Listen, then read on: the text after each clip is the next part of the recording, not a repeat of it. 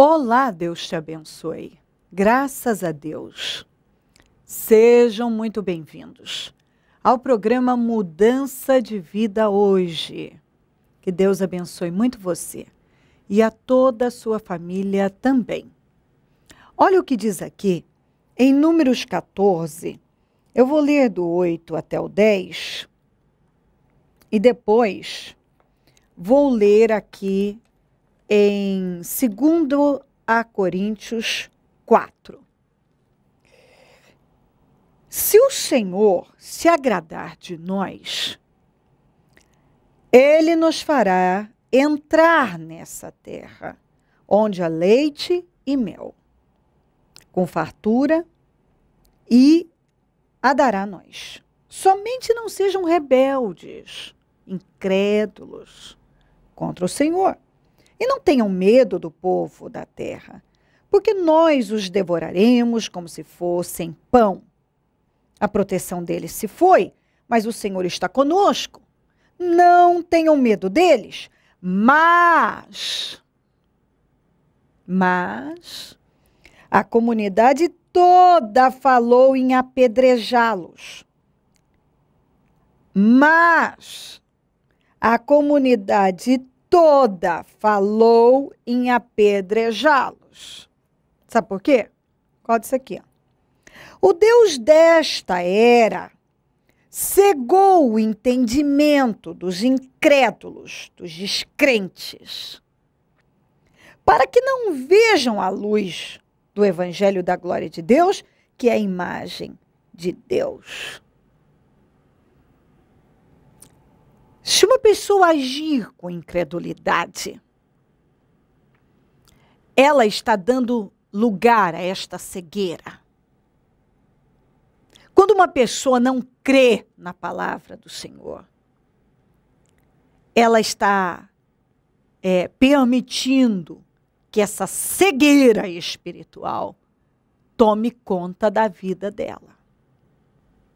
Então, às vezes a palavra, ela vem a pessoa está ouvindo como eles ouviram. Israel ouviu. Josué, Caleb, Moisés, falando, escuta. Gente, que pensamento é esse? Eles estavam falando de, de voltar para o Egito, com medo dos gigantes que viram na terra. E eles estavam dizendo: que pensamento é esse? Se, se o Senhor se agradar de nós, Ele vai nos colocar na terra. Só não sejam rebeldes, não tenham medo. Vamos, minha gente, não tome essa direção errada. Mas, ao invés deles ouvirem, eles pioraram. Eles pensaram até em apedrejá-los apedrejar o Moisés, o Josué, o Caleb, todo mundo. Por quê? Porque eles cederam a esse espírito. E o diabo cegou o entendimento deles. E não tem nada pior do que a cegueira espiritual. Tem gente que, em função da incredulidade, estão cegas. E se você estiver cego, se, se o diabo cegar o seu entendimento, ele vai, é, ele conduz a sua vida. E aí, a pessoa vai, vai tomando a pior direção, fazendo as piores escolhas. Ela vai arruinando com a vida dela e nem se dá conta.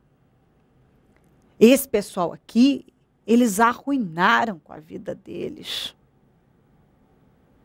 arruinaram. Por quê? Porque eles estavam cegos para a palavra de Deus. Eles não, não estavam abertos, estavam totalmente fechados para a palavra de Deus. Eles haviam sido é, é, contaminados por, uma, por um relatório negativo que um bando de incrédulos a, havia passado. E agora eles ao invés de, de buscar lucidez e dizer não, Deus nos tirou do Egito, nos tirou da escravidão. Que pensamento é esse de voltar para a escravidão? Porque eles estavam falando de voltar para a escravidão. Que pensamento é esse que não podemos vencer os gigantes que estão na terra, porque a terra era muito boa, mas tinha gigantes. Mas Josué e Caleb e, e Caleb estavam dizendo: é, o Senhor está conosco, o Senhor não está com eles. A proteção deles já se foi. Deus está é com a gente, Deus está é com a gente. Ô, oh, minha gente, acorda aí! Mas eles não ouviram. Estavam cegos. Muito pelo contrário, pioraram. Talvez você já ouviu muitas vezes a palavra de Deus. Que caminho seguir, o que é melhor para você. Mas você não se abre. Você continua ouvindo aquilo que é negativo, aquilo que te leva para o sofrimento. Você continua cedendo à cegueira. Você não para para ouvir aquilo que vai te levantar como eles. Eles não ouviram a, aquilo que, que, que vinha como bênção, mensagem de bênção. Eles não ouviram. Eles estavam cegos. Eles, eles permitiram que aquele relatório negativo, que eles não podiam vencer os gigantes, que era melhor voltarem para o Egito, é, é, entrasse e, tome, e dominasse. Entrou e dominou. E aí eles ficaram cegos. Quando eles creram mais no relatório negativo do que na palavra de Deus, é, eles cederam para a incredulidade. E a incredulidade vem do diabo. O diabo é que trabalha para as pessoas viverem na incredulidade, de forma incrédula, eh, enxergar as coisas de forma incrédula, olhar com incredulidade para as coisas. É o diabo. Então, eles permitiram que o diabo cegasse o entendimento deles. Ficaram cegos. E aí, tudo que vinha de Deus não entrava. Só o que vinha do mal. Olha o quanto, o quanto isso é sério. O que vinha de Deus, eles não é, estavam fechados. Não entrava nada. Nada. Muito pelo contrário. Quando Josué e Caleb disseram tudo que temos que fazer é, é, é, o Senhor se agradar de nós. Olha, não tenham medo. Não fiquem desanimados. A proteção deles já se foi. Deus está é com a gente eles pensaram em apedrejá-los. Foi, foi a reação. Ao invés deles é, é, se abrirem, né? E, ai, é verdade. Não é verdade, é isso. Não, nós vamos fazer, é, continuar, vamos enfrentar esses gigantes. Não. Pensaram em apedrejá-los. Porque estavam cegos totalmente cegos. A cegueira espiritual tinha tomado conta deles. Quando uma pessoa cede, para a incredulidade, ela está dando lugar a uma cegueira espiritual. E quando o diabo cega a vida de uma pessoa, ela começa a fazer uma escolha errada atrás da outra. Ela toma a direção errada, ela faz escolhas erradas em tudo quanto é área da vida, ela troca os pés pelas mãos. Elas param para ouvir quem não tem o Espírito de Deus. Elas acreditam em mentiras como esses aqui acreditaram. Elas acreditam em absurdos, porque elas estão cegas. Cegas. Desperta. Talvez você tenha vivido assim, fechado, fechada para aquilo que vem de Deus. Tem vivido de, uma, de forma cega espiritualmente. E é por isso que você tem feito tantas escolhas erradas. Porque para as coisas de Deus é só incredulidade, é só cegueira. Mas para aquilo que, que, que vem do mundo, de pessoas que não provém de Deus, que não tem o Espírito de Deus, você está sempre aberto, aberta. Você acata. O que vem de Deus você não pega, mas o que vem eh, do mal você acaba pegando, que tem arruinado com você, que foi o que eles fizeram. O Deus desse século cegou o entendimento dos incrédulos. Quando você age com, com incredulidade, o diabo cega o seu entendimento. E aí, se o diabo cega, cegar o entendimento de uma pessoa, ela não consegue mais absorver a palavra de Deus. A palavra de Deus não entra. Ela pega o que é pior e ela não tá, e ela não vê. Ela tá pegando o pior para ela e ela não vê. Um dia ela acorda quando ela não aguenta mais, o sofrimento é, é, se torna imenso, insuportável, e, e é quando a, a, venda cai e aí ela vê os, o, a, o quanto, quantas besteiras ela fez com a vida dela. Atenta para a palavra de Deus. É, Deus estava falando com eles por intermédio daqueles dois homens ungidos, que era Josué e Caleb. Mas eles não ouviram. Muito pelo contrário. Até se revoltaram, ficaram pior. Bem, bem, bem, bem é, reagiram da pior maneira. Da pior maneira. Porque estavam cegos. Estavam cegos. E arruinaram com a vida deles. Talvez Deus venha falando com você, possivelmente. Mas para as coisas de Deus, talvez você está fechado, está fechada. E é só cegueira. Por quê? Porque você age de forma incrédula em relação às coisas de Deus. Quando vem de Deus, você já se fecha, você não crê, você não se abre. E com isso, o diabo tem cegado o seu entendimento e você tem feito só escolhas ruins para sua vida. E é por isso que você está sofrendo tanto. Porque espiritualmente, você tem vivido como um cego. Para as coisas de Deus, você não se abre. Só para aquilo que vai te levar para uma derrota maior. Como foi com eles. Quando vem a palavra de Deus, você já se fecha. Quando vem um que não tem nada de Deus, você se abre.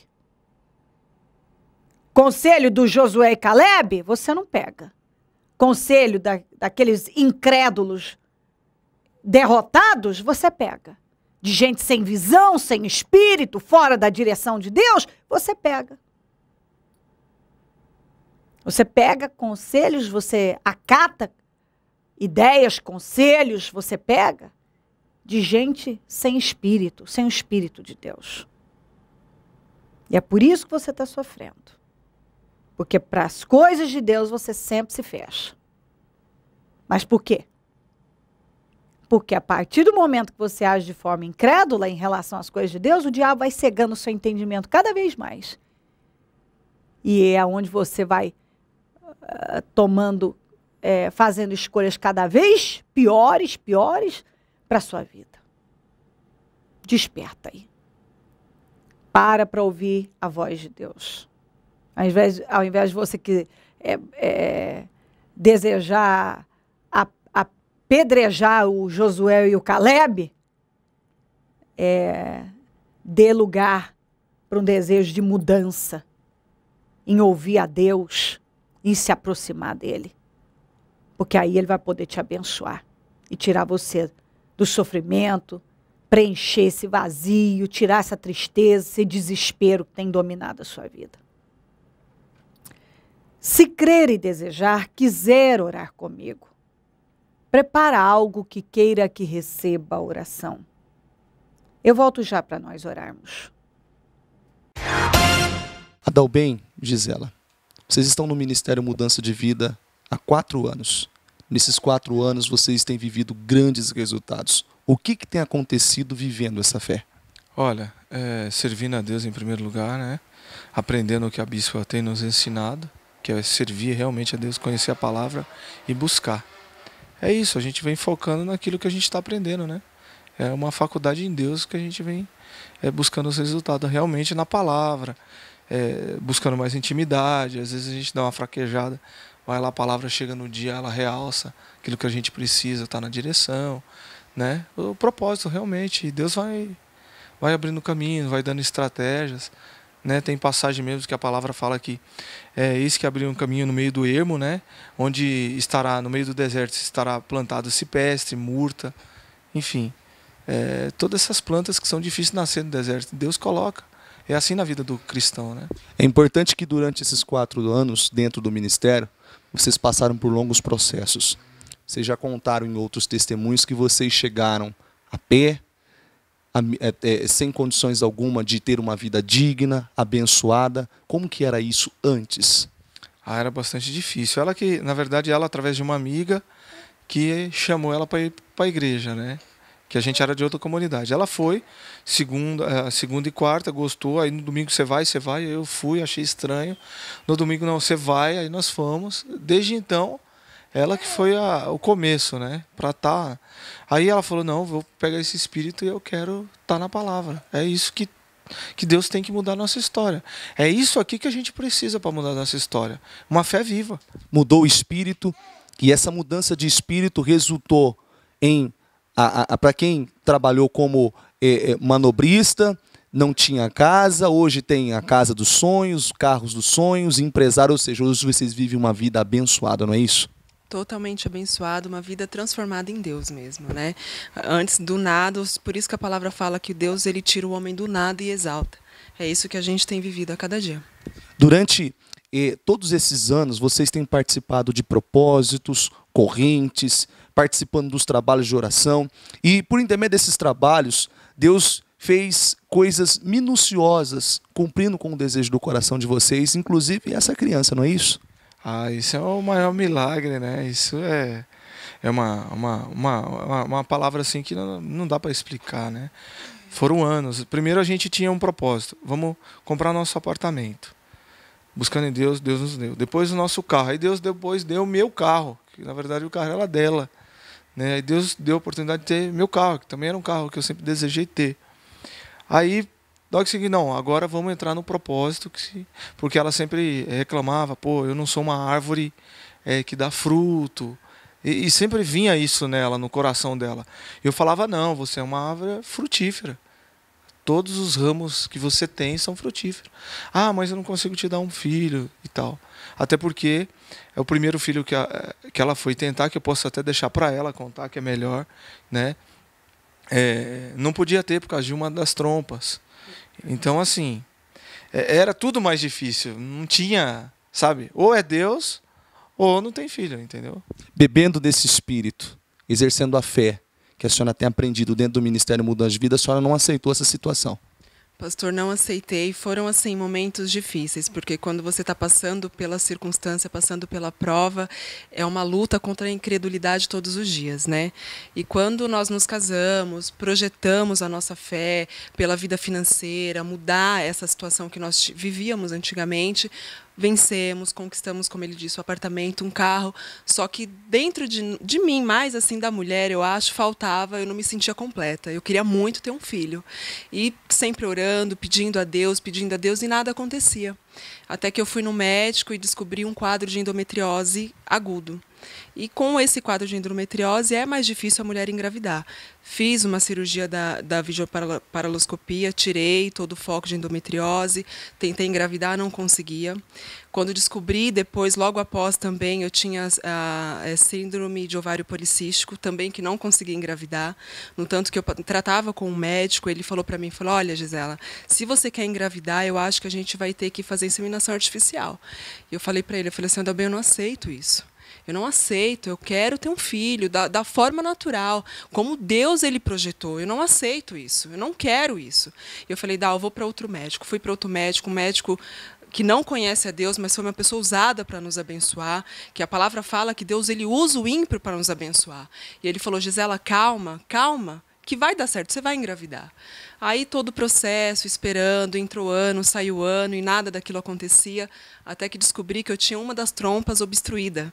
Então já não era só endometriose, não era ovário policístico, era a trompa também, que era obstruída, só tinha uma trompa, só tem uma trompa. Então, para você acertar dentro do ciclo menstrual, você está ovulando por aquela trompa, para você engravidar é só um milagre. É só Deus. Então, nesse processo, foram anos tentando engravidar, tentando engravidar e não dava certo. Até que descobri também que eu tinha um tumor da hipófise na cabeça.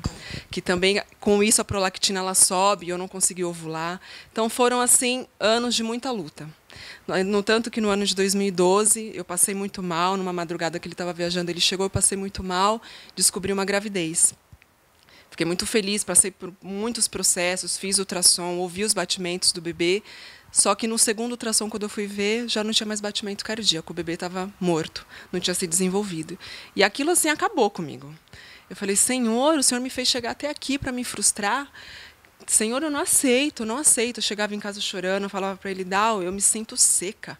Eu me sinto seca, eu não, nunca vou conseguir dar frutos. Ele, Gi, e ele sempre muito mais consciente do que eu nesse sentido. Gi, vai dar certo, meu amor. Eu estou com você porque eu te amo.